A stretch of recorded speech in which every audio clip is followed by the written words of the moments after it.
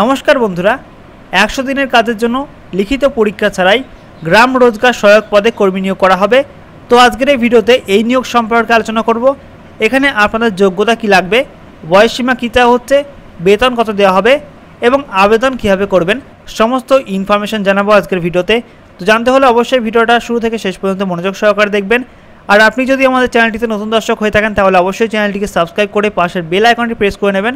প্রতি মুহূর্তে চাকরি সংক্রান্ত গুরুত্বপূর্ণ খবরাখবর সবার প্রথমে জানার জন্য।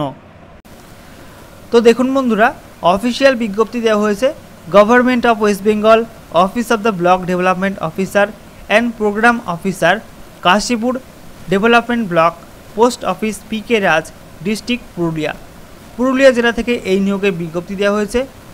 আপনারা যদি অন্য জেলার প্রার্থী হয়ে থাকেন, তাহলে অবশ্যই আপনার জেলার নামটি নিচে কমেন্ট সেকশনে কমেন্ট করে জানাবেন। যখন আপনাদের জেলাতে এই ধরনের কোনো নিয়োগের বিজ্ঞপ্তি আসবে, তখন সবার প্রথমে জানিয়ে দেওয়ার চেষ্টা করব। তো দেখুন বন্ধুরা, এখানে আপনাদের নিয়োগ করা হবে গ্রাম রোজগার সহায়ক পদে। এবং একশো দিনের যে কাজ হয় গ্রামে গ্রামে, সেই কাজের জন্য এই নিয়োগটি করা হচ্ছে। এখানে আপনাদের জানানো হচ্ছে, আপনাদের নিয়োগ করা হবে বেকো এবং গঙ্গাবাদ এই দুটি গ্রামের জন্য। এখানে আপনাদের জানানো হচ্ছে, আপনাদের বয়স হতে হবে আঠেরো থেকে চল্লিশের মধ্যে এবং এই বয়সীমা নির্ধারণ করা হচ্ছে এক এক দু এই তারিখ হিসাবে।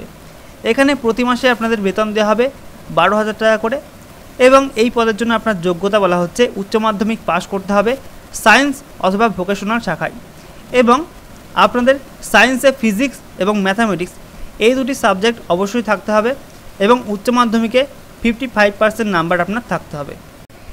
এছাড়া এখানে আপনাদের জানানো হচ্ছে প্রার্থীকে স্বীকৃত প্রতিষ্ঠান থেকে অন্তত ছ মাসের কম্পিউটার অ্যাপ্লিকেশন কোর্স পাস করে থাকতে হবে।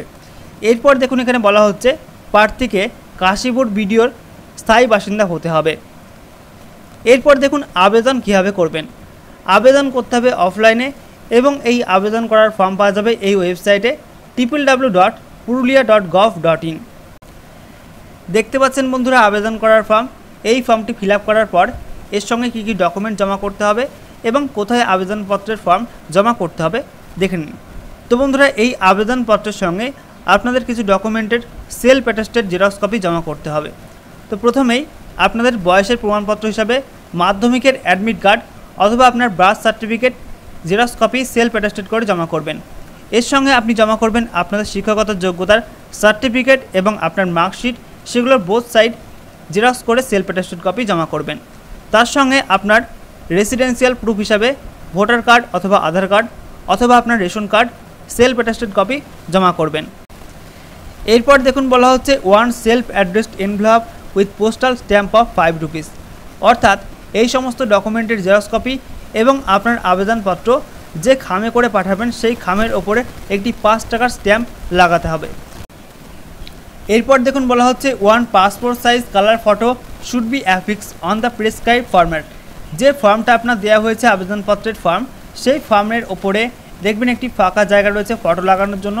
সেই জায়গায় আপনার পাসপোর্ট সাইজের কালার ফটো লাগিয়ে দেবেন এবং এই আবেদনপত্র আপনাকে পাঠাতে হবে একত্রিশে জুলাই দু হাজার উনিশ তারিখের মধ্যে এবং এই আবেদনপত্র আপনি শনি, রবি এবং ছুটির দিন বাদে জমা করবেন।